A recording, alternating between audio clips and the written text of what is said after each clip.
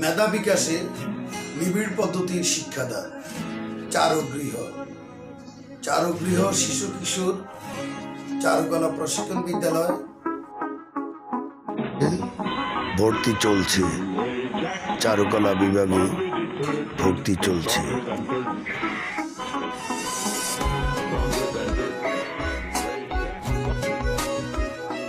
চারুগৃহ শিশু কিশোর চারুকলা স্কুলের ভর্তি।